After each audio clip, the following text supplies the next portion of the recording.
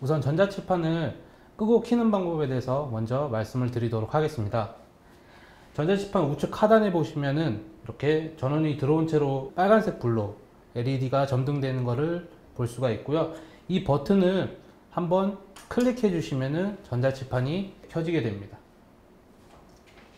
그리고 다른 방법으로는 저희가 제공드리는 액세서리 중에 하나인 이 리모컨으로 전자칠판 센서를 향해서 전원 버튼을 눌러주시면 되고요. 전자칠판 센서는 이 버튼 왼쪽에 위치해 있습니다. 그래서 여기를 향해서 전원 버튼을 눌러주시면은 전자칠판이 같은 방식으로 켜지게 됩니다. 전자칠판을 끄는 방법도 동일하고요. 어, 똑같은 버튼을 3초 이상 꾹 누르고 계시면은 이런 메시지와 함께 전자칠판이 예, 종료가 되게 됩니다.